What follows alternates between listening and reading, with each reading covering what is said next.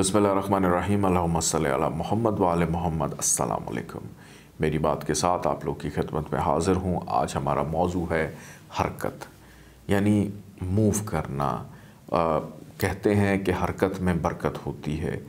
آپ سست روی کا شکار ہیں، کاموں میں دل نہیں لگتا، دلچسپی نہیں رہتی۔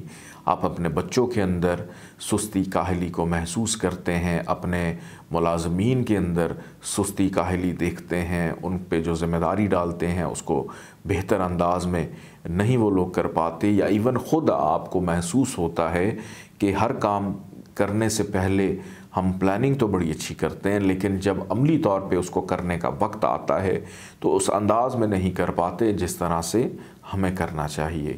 دنیا میں جتنے بھی بڑے بڑے پروجیکٹس ہیں، بڑے بڑے جو کام ہو رہے ہیں، ان کی باقاعدہ پہلے پلاننگ ہوتی ہے۔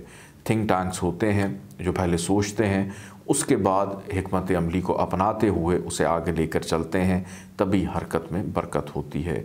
علم نجوم میں اس قسم کی حرکت کا تعلق وینس سے ہے یعنی زہرہ سے ہے۔ اگر آپ اپنے گرد و نواح میں، اپنے ملازمین میں، اپنے رشتہ داروں میں، اپنی اولاد میں، اپنی خود ذات میں سستی کاہلی کو محسوس کرتے ہیں، تو اللہ تعالیٰ کا ایک نام ہے یا رکیبو اس کو تین سو بارہ دفعہ روزانہ پڑھنا معمول بنائیے، اول آخر چودہ چودہ دفعہ درود پاک کے ساتھ اکتیس روپے کا صدقہ بھی روزانہ اپنا نکالیے تاکہ آپ کی حرکت میں برکت ہو۔